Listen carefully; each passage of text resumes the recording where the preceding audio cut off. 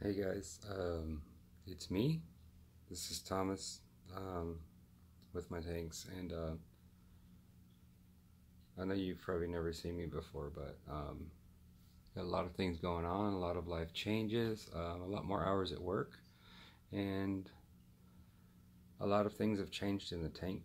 So I'm gonna see if I can uh, do a quick fill-in on what's going on. Okay, first of all, I had to take the kribs out.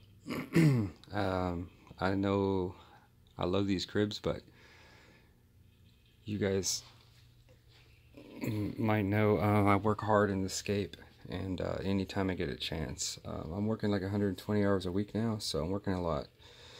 Anytime I get a chance, when I get off work in the morning, I'll flip the light on, and I will trim for a minute or do whatever maintenance I see or anything I see out of place. I did get a canister filter and I did order a Jardli 17 millimeter outflow for it and then recently I ordered the Jardli skimmer inflow so I don't have to run my Eheim 350 skim in here all the time anymore. I was getting a little film but um, here's what the kribs were doing. They were tearing up all of this right here. Like every day I would come in, the whole carpet would be covered in fluval stratum. And I was getting algae everywhere. Um, they were getting fluval stratum all over the driftwood. They were digging up all this area here. All this area down here. They've been just really constantly digging, so it's been really hard. Now, um, my Rotalas back here. Uh, some good news about them is they're growing great. Rotundifolias all the way to here. Two stems of uh, repens. I just put them in there. Um, they're just they're not really attached.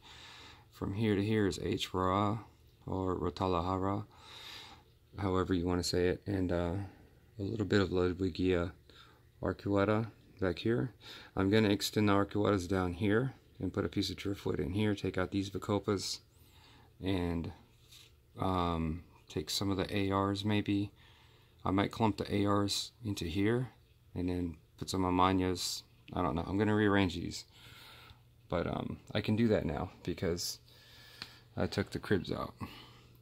This area over here has been a hard time because the kribs get in here everywhere. They constantly rip out plugs of grass and everything. So um, it should grow better now with less algae without everything being stirred and kicked up all the time constantly. Uh, arcuatas in the back, trim those down and we'll let them grow back in nicely. Let them get bushy. Now my auto back here can eat in peace. I'm going to get two more of those, maybe one more, I'm not sure. But now that the kribs are out, um, I know you just saw them. There's one. I got I got three Amanos at Petco, but the girl lost one. It jumped the net, I guess, before getting the bag, so I just got two. So I have two Amanos in here. So I'm going to put some Amanos in here and let these guys do their little work. I mean, look at that. He's going to help me with my carpet there. I'm going to get a couple of those guys. I thought about getting cherries, but um, for the price, I'm just going to get a couple of monos for now because um, I haven't been into shrimp before. I plan on getting maybe some ember tetras or neons, I'm not sure. Something to complement the colors of the scape. This area right here, this grass should grow in a little bit more. I put some Lilaeopsis uh, microsword, a couple of pieces in there, and I put a couple of my um, oh, what's it called? Um, they also call it micro sword too. Pygmy chain sword.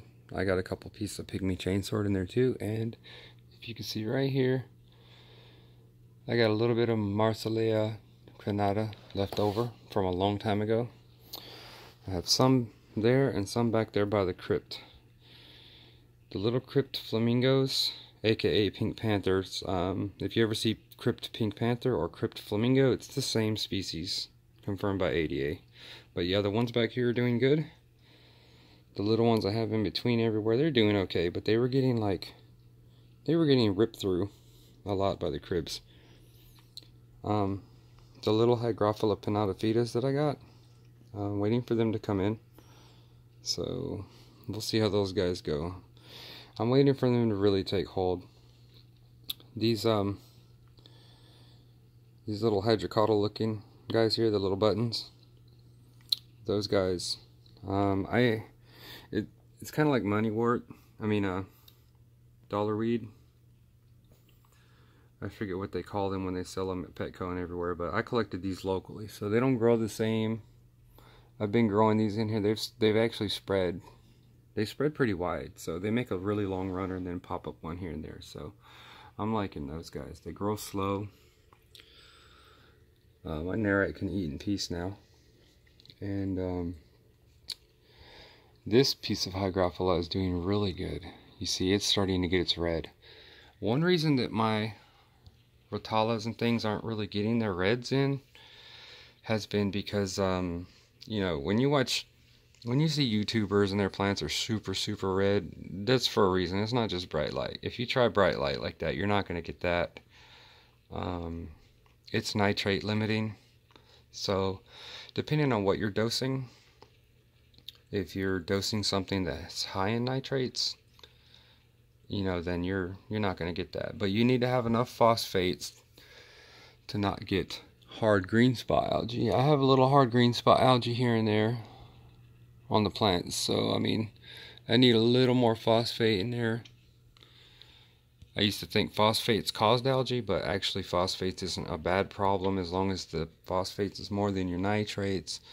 But um, that's a whole nother thing. But um, if you want your plants like the arcuatas and things like that, plants that aren't normally red, if you want these guys to turn red, you need nitrate limiting. So, um, as far as fertilizers go, there are ADA fertilizers. They're they're limited in nitrate and phosphates. Um, Sera brand, it's a little kind of a German brand. Um, they don't really add nitrates and phosphates a lot to theirs. So if you get Sera brand, like my one of my local fish stores carries Sera brand root tabs and uh, liquid fertilizer, and it doesn't have any nitrates or phosphates. It's like all the other main stuff, potassium and all the other iron, everything, um, and trace minerals. Uh, this, by the way, this carpet has grown in more, so it does look a lot better, but there's still little there's still little dry spots in it, but it, will come around. I think it's because the kribs were pecking at it so much. Um, the little middle area gets a little bit algae, but it's it's more of a dead spot for the flow. But um, these little shrimps, they should help. I'm going to get a couple more of them. The Anubias variegated, the whites, I had put them over here. All my Anubias and everything like that, I stuck over here on this side in the shade areas. And now, you probably can't see them very well, but they're doing really good now. They were growing a lot of algae. So, we'll see how that all goes. S. repens, you know, um, a little bit lower light plant. They're doing good over here on this side. So, I'm kind of keeping my low light over here. And um, my light is situated kind of more kind of to the back. More like heavy in this area with the highlight plants. Uh, kind of heavy to get a little red out of the crypts. I need reds and browns from the crypts, so you know that takes a little more light. If you have really low light, these same exact crypts are going to be like really easy green and soft.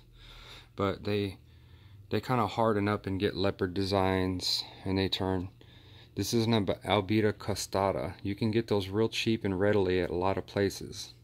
Tropica makes like Albida browns. Albida reds are specialty uh, for softer water, but Albida browns, you see them a lot. Well, if you get regular Albidas costata, they do grow like this. Oh, by the way, one more fertilizer that's good for limiting nitrates for reddening up your plants also is uh, 2Hr Aquarist. It's uh, Dennis Wong's fertilizer. So I did order some of that. But um, that's it. Big changes, lots of work hours, not many videos. And uh, well, uh, thanks for watching.